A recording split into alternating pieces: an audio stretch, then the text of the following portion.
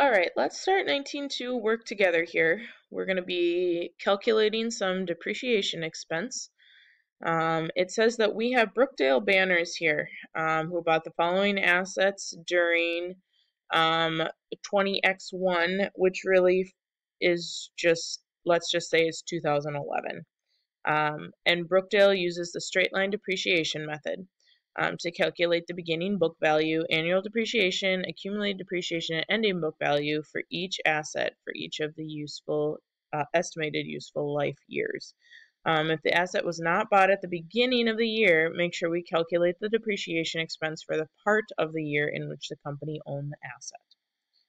So it says that we have two um, purchases that were made. Um, we're going to do the January 4th one first which is buying a display case that cost $4,040.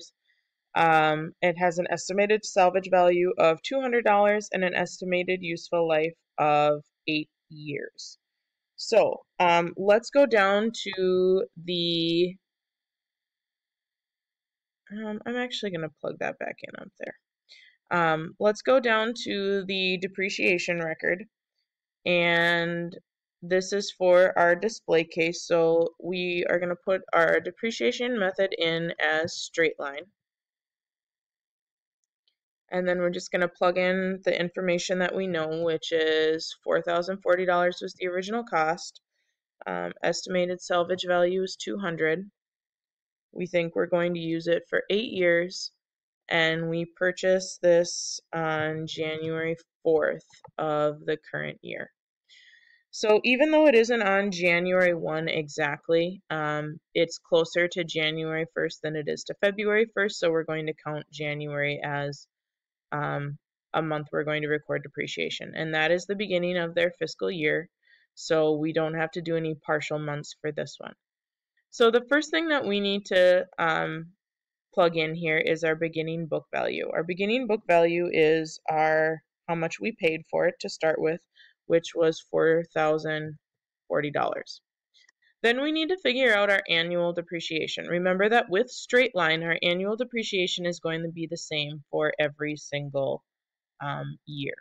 So remembering how to figure out our annual depreciation, we need to take our original cost, which is 4040, and subtract out our salvage value of 200 which means that we have a total uh, a, a depreciation expense for all of the useful life of $3,840. We then take that divided by 8 to get our annual depreciation, and we should end up with annual depreciation each year of $480. So I'm going to plug that in here.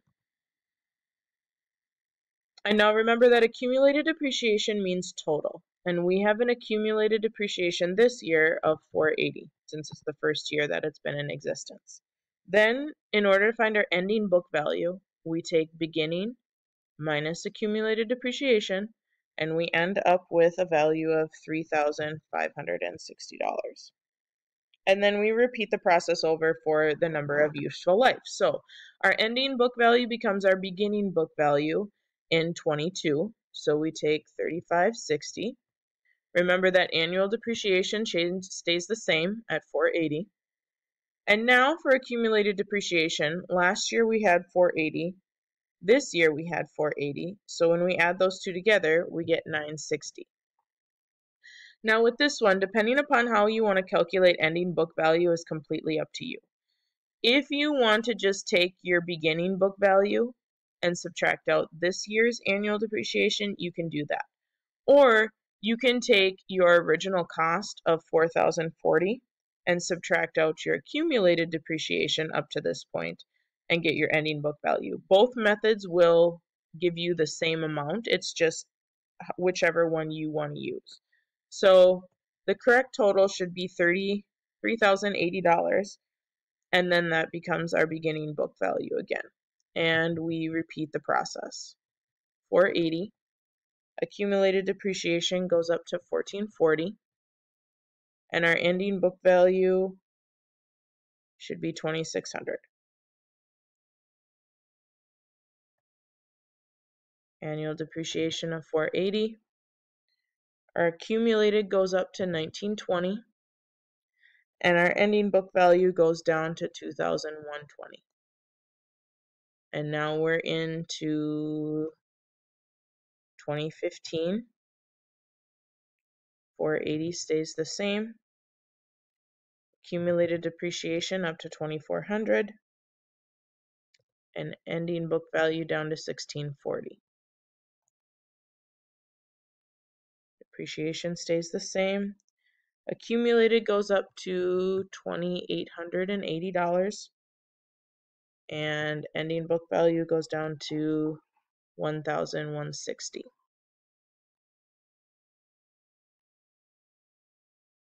Accumulated goes to 3,360 down to 680 and now we're in our last year of useful life for our display case. Accumulated depreciation goes up to 3840 and ending book value goes down to 200. Now a couple of things I want to show you here. If you remember when we first calculated our depreciation expense for all of the useful life of this display case, it was 3840. So your accumulated depreciation at the end of the useful life should equal that amount. Same thing where your ending book value should equal your salvage value. If it does not, somewhere you have made an error. So this is the um, depreciation expense for a display case. Let's go ahead and look at the one for our workstation.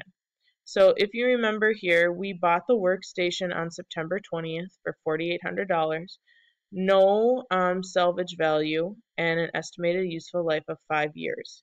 So let's go down and start filling in our information. Again, we have um, straight line.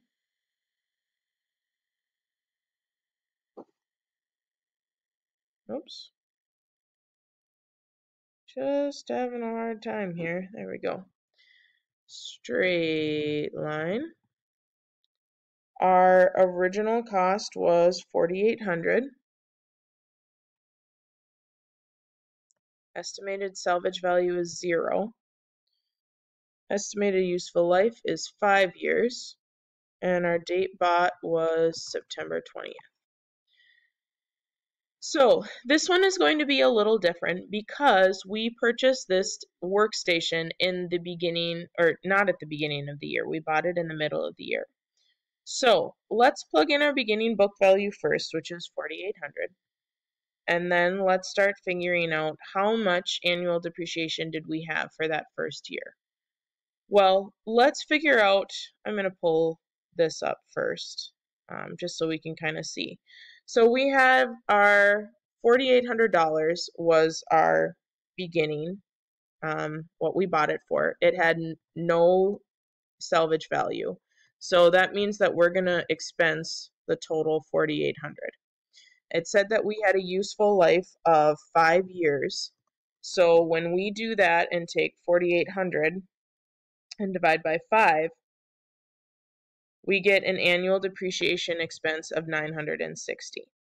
But we need to break that down even further to monthly depreciation. So we take our total annual and divide it in, by 12, and we're going to get monthly depreciation of $80. Okay. So those that's where those numbers are coming from in case you're like, I don't know where you're getting those. Okay. So let's go back to Aplia here. And remember that September 20th is when we bought it. So that's actually closer to October than it is to September 1st. So we're going to count October, November, and December, or three months of depreciation expense for this workstation. So we take our monthly that we just found, that $80, and multiply it by three, and we get annual depreciation for the first year of $240. So that's our accumulated so far because we've only done it for one year. So we take 4,800 minus 240 and we end up with $4,560. So that becomes our beginning book value. And now we can go back to, because this 22 is going to be a full year, So we can actually go back and use our 960, our original annual uh, depreciation expense, and plug that in here. So we put in 960. And then we take 960 plus 240 to get our accumulated depreciation of 1200. And then we need to find our ending book value. So we, you, like I said, you can either do the 4,560 and subtract out this year's depreciation, or you can take your total original cost and subtract out your uh, accumulated depreciation, whichever one makes more sense to you. You should end up with an ending book value of 3,600. Okay, annual depreciation is 960 we go to 2160 for accumulated depreciation and we have an ending book value of 2640 and then we continue into our fourth year accumulated depreciation goes up to 3120 and then 16 oops 1680 for our ending book value.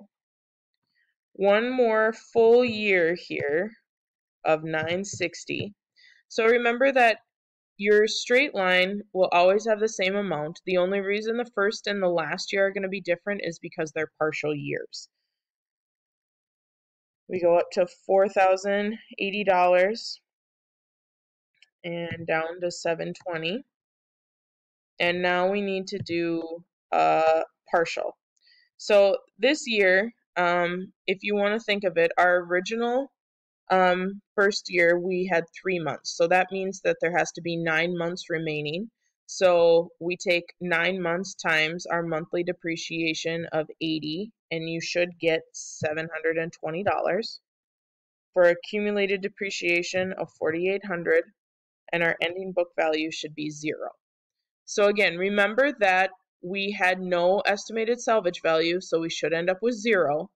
And our total amount being expensed was the full 4800 So those are two um, accumulated depreciation reports for our two assets. You can go ahead and go over to um, 19.2 work together and come, or excuse me, 19.2 on your own and complete that one.